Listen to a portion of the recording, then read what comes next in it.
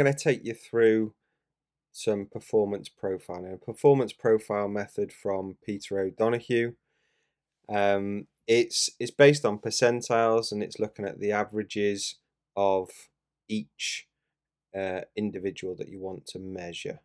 Um, so this is a an export from uh, FBref and StatsBomb, so credit to them. Um, and you can see the players on the left hand side and I've also got the units here as well. So I'm, I'm gonna I'm gonna use those columns. So that's column U and column A. What I've also done, I've highlighted some um, some variables that I want to concentrate on. So these are attacking. So I want to go shots on target, tempo, um, expected goals, expected assist, and progressive distance. How much distance they make um, during each game. So this is by game. Each row is a game that this player um, took part in. So what I've done, I've you can freeze the pane. So if I go to view, um, I'll unfreeze them to show you. So at the moment, it just scroll down like that and I wouldn't be able to see any titles. If I go into click on Everton there, I can go to freeze panes and then it will make the players just stay on the left hand side and all the um, all the variables at the top. So what I want to do is I want to create um, create averages for each uh, forward player because I want to measure two forward players. I want to measure um, well, I'll go into that later on. So there's a really useful tool in the in the data section. Uh, I'll just make sure I'm sorted. Yeah. So what you what you'll have to do is if you just click on anywhere on the spreadsheet, then you go to data, you can go to custom sort here. I've sorted it by unit first and then by player. So press OK. And so all the midfielders and forwards uh, are here. Yeah. Uh, but I don't, I don't want the goalkeepers. I'm not going to delete them yet. Um, or the defenders.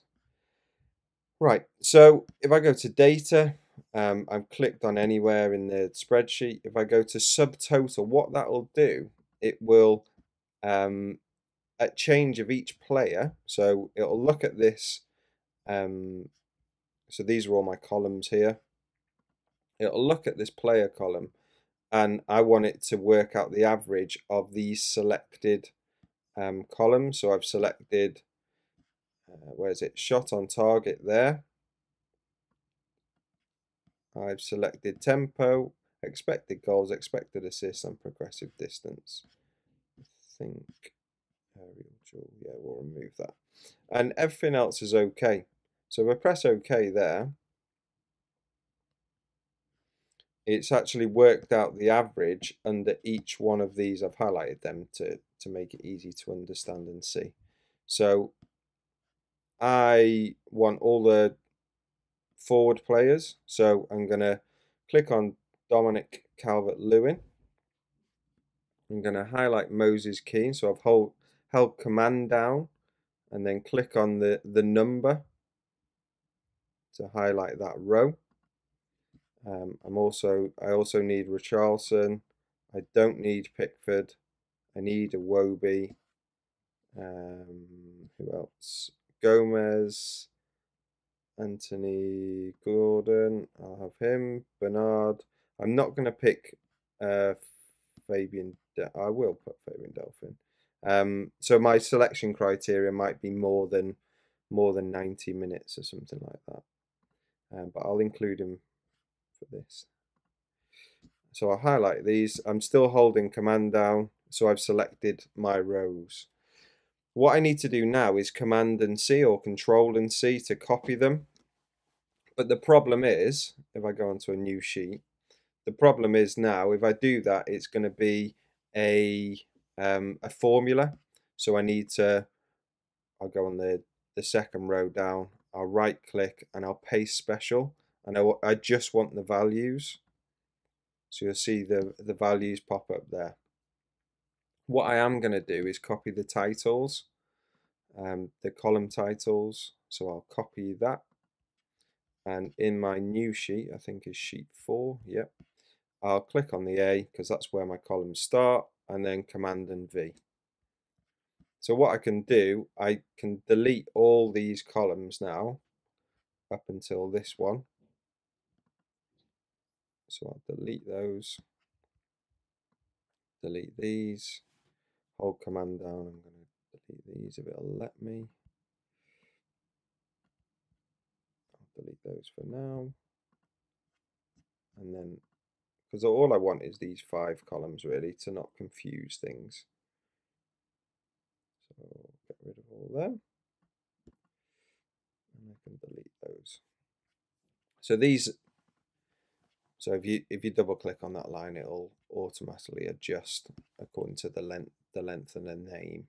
Um, what I'm going to do is make everything two decimal places, so you can select everything there, um, or that way if you want.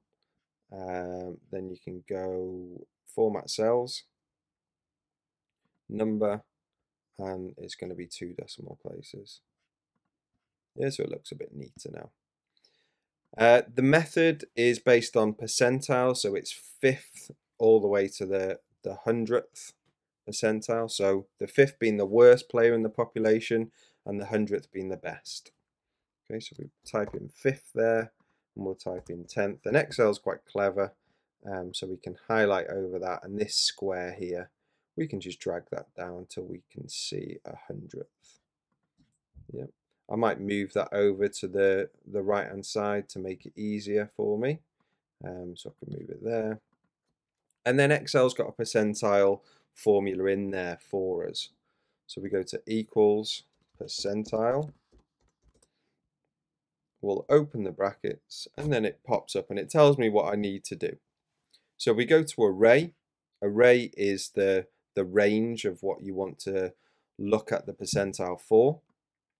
So we highlight that and then just put a, a comma and then the K is, so it's related to the fifth percentile. So that's 5%. So that's 0 0.05. So we'll go 0 0.05 press enter and then it should be zero.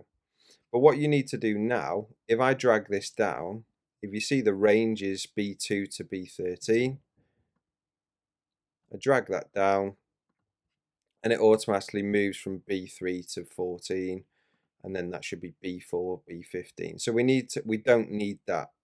Yeah, we need it to stay on this range. So there's a neat little trick that we can do.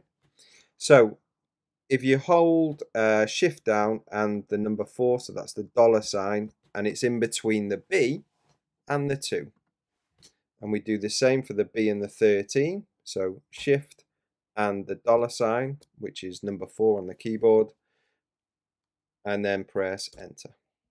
So what we can do now is we can drag that down. And all we have to do is go and change this to this will be one zero uh, this will be 1 5 and we just do this all the way down once that's all done we can highlight that and we can drag that across and I'll show you what that looks like now so what we can do it'd be like that so that's what I've done um, so you can see it's 0.1 uh, this one should be 0 0.5, 0 0.35. Yeah, so it all, all matches up. And when you're done, you can drag that across. And that's done. Yeah, so we can make that two decimal places if we want. Again, so I right clicked, format cells, number, two decimal places, and it looks a lot neater. So once you've got that, uh, one of the tasks I asked, well, one of the questions I asked myself, who's the who's the best forward, and how we how can we compare two different, uh, let's say, forward players, difference by name more than anything, um, and maybe it, this might be used for selection purposes. So I want to see these are my five key performance indicators to do with forwards, for example. So I want to see how they perform compared to another person. So I pick Theo Walcott versus Richarlison. So if I go to his value, Richarlison is 1.22. So 1.22 is nearest to 1.36. So we've got the 95th percentile. So we can put that in there. I'll show you how to do this bit now. So all I did was copy that, paste that in there, and then name this Richarlison, and this one Walcott. Okay, so we established that he was 95. Um, 1.74, 1.74 is closest to 85, so his tempo is 85. Whereas Walcott 1.43 is 65th, so we can put 65th. I'll come back and do Walcott's shots on target later. 0.33, 0.33 is nearest to the 90th. So we can see Richarlison's quite good at the minute, but we need to put it into a visual to understand. His expected assist, 0.20, which is a hundredth. So he's the best at that. Progressive distance, 54. Uh, so where's 54? So we can go 40th there. So he's not that great at that. Walcott is 36. So we go 10th. So he's the 10th expected assists 0.08 0.08 will give him the 90th so he's quite high in that as well.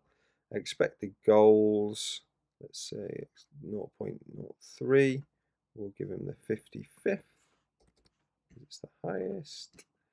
And 0.0 will give him the 5th for that because he's low. And that's all we need now. So this I know we've gone through a lot of work to do that, but this is all we need. So we've measured them against the whole population of forward players. We might want to measure, um, let's say, Moses Kean against Dominic Calvert-Lewin next, because they're similar, a similar type of, of player. So once we've got this, we can put this into something that we call a radar chart. So if we go to Insert, uh, Chart, and Radar, if we go to insert here, you you won't find uh, the radar chart. So what you need, what you could do actually, um, if you click on this waterfall, you can click on there. So that's the radar chart, but the proper way is through insert. So we'll do it this way. So waterfall, and then it scroll down to the bottom. It's nice and hidden under the radar, um, and then we can we've got that there. So that's that radar. And you can see that Richarlison's quite um, high, whereas Walcott's quite low, but he's similar in the expected assists. Um, so we can click on that and we click on move chart because we want it on a separate sheet. And we're going to go player um, comp. So player comparison. Press OK. So what, what we've got now is uh, a radar chart, a filled in radar chart, but we need to make it look um, presentable and to do with the Everton Everton theme. So we need to make it look a bit like a bit like that. Yeah, you could have the background as as grey if you wanted, um, as as their third kit or second kit, whatever it is. Um, but I've I've chosen to have a white background. Okay, so we can, if we go back to player comp, we can we can start to move this wherever we want. If the hand pops up, that means we can move it. Um, so we can move that to the side if we want that there. Uh, the font I've already got in. So it's the Angie Bold. So everything should change to that once I select the whole. So I, I've selected the whole sheet here, you can see on the outside. Uh, if I go to Angie, where's Angie? Here it is, and bold. You can you can then start to play around with maybe we want it all black. Um, maybe you want to highlight the outside. Um, so we can we can click on on that. I can make it the blue of Everton, so I can right click. I think I go to um, that one.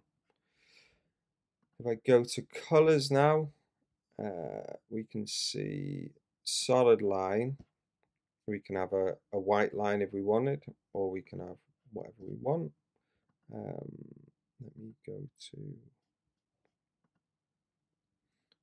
this. So I, I can change this if I go to this fill here. And I know if I go to more colors I've got an Everton color stored there. So if I click on that then it will change it to that. Uh, another Everton color that I've got um, that I might want to change is this one. Yeah so that's there I think it's their third kit or close to it anyway. Um, I can change these to grey if I want and reduce the size of them or I can just I can delete them. Get rid of them. If I click on the here um, right click and I can add the data labels so these get put in. But what you can do is you can drag those into there. You can drag that into there. Um, this one's a bit tricky. Probably won't do it. Um, Make sure the hand's on it. Come on, hand. There we go. We can move that over. Move that over to there. And I'll change it to white. I'll change them all to white now. So I'll click off it, then click on it change it to white and we can get rid of the label options. So I've gone into the chart there and we don't need this leader line. So see these little lines here attached to it? I don't need those. So get rid of those. And it is starting to look a bit better. You obviously name it the title that you want so you can double click in there um, and just put player comparison or player forward player, let's call it.